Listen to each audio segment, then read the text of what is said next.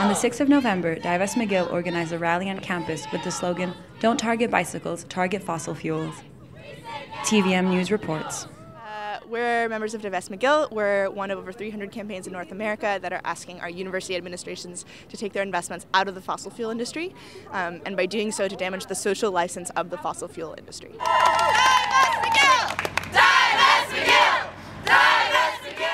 Uh, we wanted to go off of the fact that McGill isn't allowing uh, bikers on campus and with the bike gates and the frustration around that, and just tell McGill to start stop targeting uh, sustainability efforts um, and start targeting the fossil fuel industry.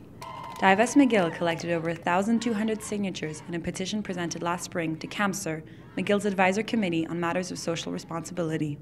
So uh, when we brought the petition forward to CAMSR, we had over 1,200 signatures in the support of three major, all three major student unions, as well as a bunch of other independent groups and workers unions on campus.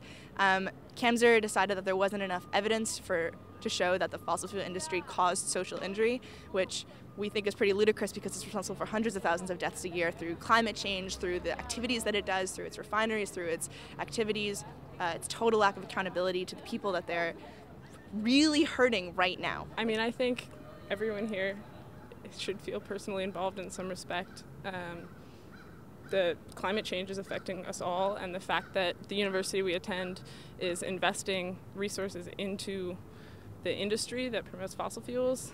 I don't, I don't like that my university is invested in that, so I want to change that and have a say at the school I attend. It succeeded at a lot of universities across North America. It's spreading worldwide, and I think that with the kind of momentum that we're gathering, it can definitely succeed. We're turning up the heat on campus before climate change turns up the heat too much on the planet.